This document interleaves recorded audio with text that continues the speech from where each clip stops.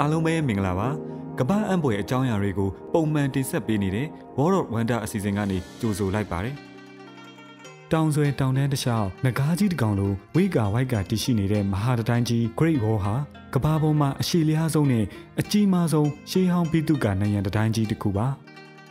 မဟာတတိုင်းကြီးကမိုင်ပေါင်း9500ကျော်ရှည်လျားပြီးဘေးဘက်ဖြာထွက်သွားတဲ့အစိပ်ပိုင်းတွေထည့်သွင်းတက်ချက်ရင်တော့မိုင်ပေါင်း13000ကျော်ရှည်လျားပါတယ်။ မဟာတိုင်းကြီးတည်ဆောက်ခဲ့တဲ့ရည်ရွယ်ချက်ကနော်မက်လူမျိုးတွေနဲ့တခြားလူမျိုးစုတွေရဲ့ရန်ကိုကာကွယ်နိုင်ဖို့ပါအဲဒီခေတ်ကာလကနော်မက်လူမျိုးတွေဟာတိုးအုပ်စိတ်အုပ်တွေနဲ့အတူရည်ကြည်ရမျက်နှာရာကိုလှည့်လည်သွားလာကြပြီးမျိုးမတူတဲ့တခြားလူမျိုးစုတွေကိုလူရက်တိုက်ခိုက်ကြလို့ပါချင်းဝမ်တောင်ဒေသရဲ့ကမ်းခြေတွေကစပြီးဘေကျင်းမြို့တဝိုက်ကတောင်စင်တောင်တန်းတွေအပြင်ကန္နာရလွင်ပြင်အထိရှေ့လျားတဲ့မဟာတိုင်းကြီးကိုရှုံ့နဲ့ကြောင်များအုံပြုပြီးစတင်တည်ဆောက်ခဲ့တာပါ။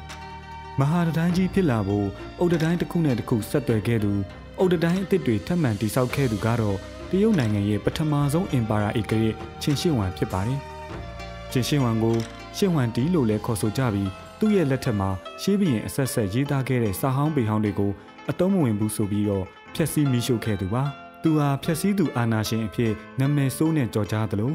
တိုင်းပြည်ဖွံ့ဖြိုးတိုးတက်စေသူယဉ်ကျေးမှုမြင့်မားအောင်စွမ်းဆောင်နိုင်သူအဖြစ်လည်းအတိမတ်ပြုခံရပြန်ပါတယ်။ တရုတ်ခုနှစ်ပြည်ထောင်ကိုတပေါင်းတစည်းတည်းဖြစ်အောင်တင်သွင်းအုပ်ချုပ်နိုင်ခဲ့တဲ့ပထမဆုံးတရုတ်အင်ပါယာအီဂရစ်ဖြစ်ပြီးသူ့ရဲ့နာမည်ကျော်ကြားတဲ့လှုပ်ဆောင်ချက်တွေထဲမှာမဟာရန်ကြီးတိုးချဲ့နိုင်ခဲ့မှုကလည်းတစ်ခုအပါအဝင်ပါ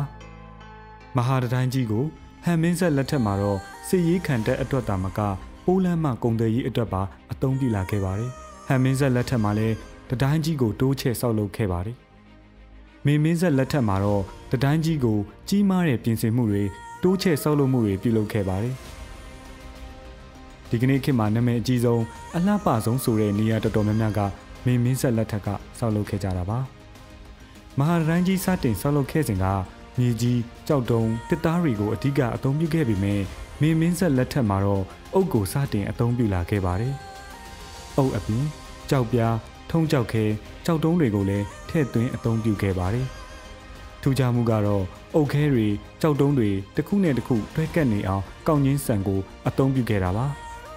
မဟာတတိုင်းကြီးကိုဆက်ရန်ရားတွေမပါဘဲနဲ့ဘိန်းနှလုံးတက်လက်တွန်းလှဲတွေကျိုးတွေမြင်းတွေလဲတွေကိုအသုံးပြုပြီးလက်ချီတက်တက်တိစောက်ခဲ့ကြပါတယ်တိစောက်ရေးလုပ်ငန်းမှာလုပ်ကံရသူတွေကလယ်သမားတွေစစ်မှုထမ်းတွေနဲ့ပြစ်မှုကျူးလွန်သူရာဇဝတ်သားတွေပါ မဟာတိုင်းဆောက်လုပ်ရေးလုပ်ငန်းခွင်မှာရာဇဝတ်သားတွေကိုကရုံတုံးမျက်နှာတစ်ခုလုံးကိုအမဲရောင်ဆေးတွေတုံလင်းပြီးခြေလက်တွေကိုတော့တန်ချေချင်းခတ်ခိုင်းစေခဲ့ပါတယ်1966ခုနှစ်ကနေ1986ခုနှစ်အတွင်းမှာမဟာတိုင်းရဲ့အစိတ်အပိုင်းတွေဖြစ်တဲ့ကြောက်တုံးနဲ့တက်သားတွေကိုလူနေအိမ်တွေရေလောင်ကန်တွေတိစောက်ဖို့ဖြုတ်ယူသုံးစွဲမှုတွေရှိခဲ့ပါတယ်။နောက်ပိုင်းမှာတော့အစိုးရကပြန်လည်ထိန်းသိမ်းမှုတွေပြုလုပ်ခဲ့ပါတယ်။ မဟာတန်းကြီးကိုကဘာကတတိထားမိလာခဲ့တာက1984ခုနှစ်ကတတိုင်းကြီးအပေါ်မှာစတင်လမ်းလျှောက်သူတွေထွက်ပေါ်လာတာကြောင့်ပါကဘာအံပွဲခုနှစ်ပါးတဲ့ပါဝင်တဲ့မဟာတတိုင်းကြီးကို1989ခုနှစ်ကတည်းက UNESCO ရဲ့ကမ္ဘာအမွေနဲ့အဆောက်အုံအဖြစ်သတ်မှတ်ခံခဲ့ရပြီးဖြစ်ပါတယ်ခင်ဗျာဟုတ်ကဲ့ပါနားဆင်ခဲ့တဲ့ပရိသတ်တွေအားလုံးကိုကျေးဇူးအထူးပဲတင်ရှိပါတယ် နောက်ထပ်အစီအစဉ်တွေမှာလည်းစိတ်ဝင်စားဖွယ်ရာဘယ်လိုဇလန်းအကြောင်းအရာတွေကိုတင်ဆက်ပေးမလဲဆိုတာကိုစောင့်မျှော်နားဆင်ကြပါအောင်လို့ပြောချရင်းနဲ့ကျွန်တော်ကတော့တင်ဆက်သူ Aries Mon ပါ